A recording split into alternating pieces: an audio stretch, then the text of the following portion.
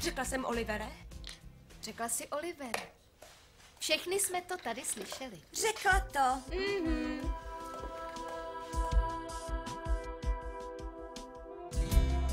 Drahá Lauro, jediné, co mi po tobě zbylo, jsou vzpomínky.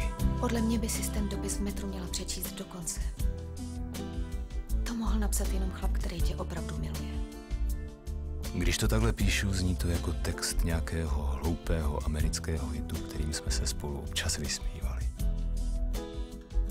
A najednou je pro mě v tom kliše hluboká pravda. Jo. Asi jo. A jednoho ponurého prosincového večera jsem dostal nápad. Pronajmu si na pár týdnů tyhle reklamní rámečky v metru a začnu ti psát. Milostný dopisy na místo stupidních reklam na koberce nebo životní pojištění. Mnohokrát jsem si představoval okamžik, kdy si můj reklamy poprvé všimneš. Představoval jsem si, jak zvědavě přistoupíš blíž, jak se nechápavě začteš a jak přitom nepatrně nakrčíš nos a mezi tvým obočím se objeví ta známá milá, něžná vrázka. Vzpomínám a detailně si vybavuji i zdánlivé hlouposti. Třeba když se probudila v báječné náladě a rozhodla se, že nám usmažíš čerstvé lívance. Miluju tě. Vrať se. Tvůj Oliver.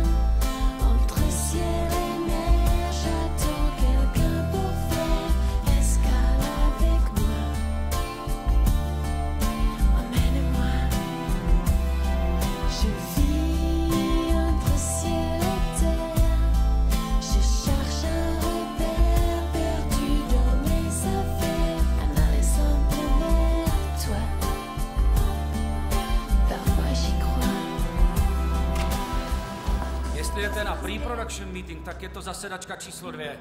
Ale už jdete stejně pozdě. Potom se v záběru objeví demo. Prosím. Záběr na šťastnou hlavní hrdinku a závěrečný claim, který ve své nové inovované finální podobě zní Díky tamponu Triamax tě nic nezastaví. To je magnifik. Case,